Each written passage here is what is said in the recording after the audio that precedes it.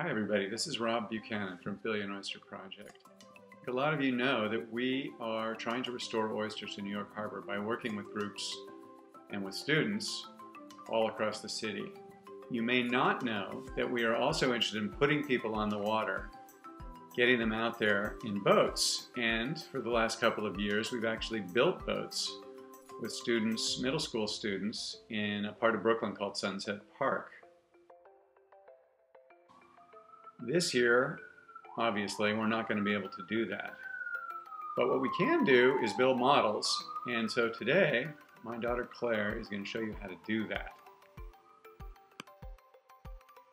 Hi, my name's Claire, and today you're gonna learn how to make a mini model of the Brooklyn Oyster Dory with this printout and with three other things. Um, some scotch tape or some clear tape, a pair of scissors, and um, also some colored tape, which could be helpful. You don't necessarily need it, but yeah. Step number one is to cut out the dory bottom, which is that large piece. This one? Right in the middle, that one. Now the next step is to cut out the transom. That's that small piece that looks like an hourglass.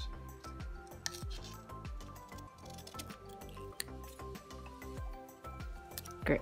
To tape the transom to the stern of the dory, the aft end, the back end of the dory. You're gonna basically go like this, right? Yep.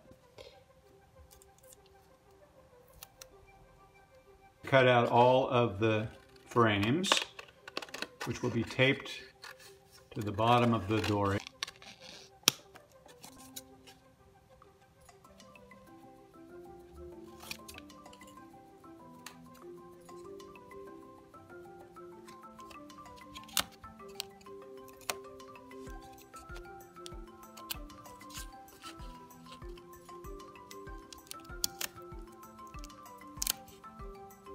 So a boat is like a body in some ways, and the dory bottom is like the spine, and the frames are like the ribs. So we've got the spine, the backbone, and the ribs on, and now the last step is to attach the skin, or the planks. To cut out the two bottom planks, one for each side of the boat. It says starboard, that's the right side of the boat, and the other one says port, that's the left side.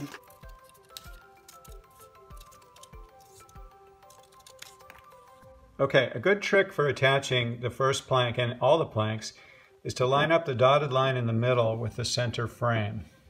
So push it right in next to the boat, yes, like that. One piece of tape right straight across. That's good. Okay, now we've got the planks attached amidships and we're gonna bring the ends of the planks together and tape them up. So let's start at the bow, up here, and fold them up a little bit and tape those two ends together. It's hard.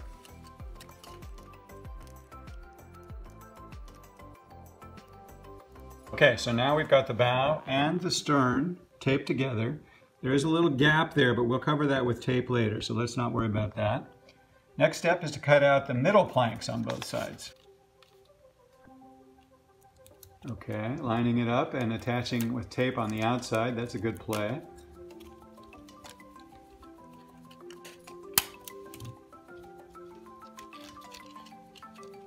Taping the bow together.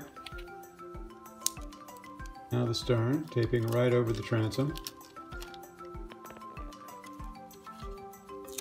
Let's see. Starting to look like a boat. Lining them up on the dotted line. Good. Turning the boat over, putting the tape on the outside. Nice.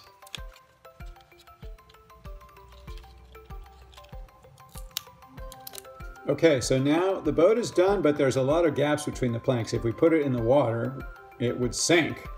And so one thing you can do is cover those gaps from the outside with some tape, maybe some colored tape, just so that it looks like the boat doesn't have those holes in it anymore.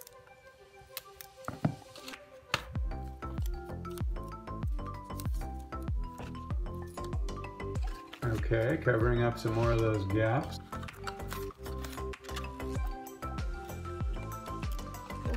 All right, let's see. Here's the finished boat. Do you guys um think it's gonna float or what?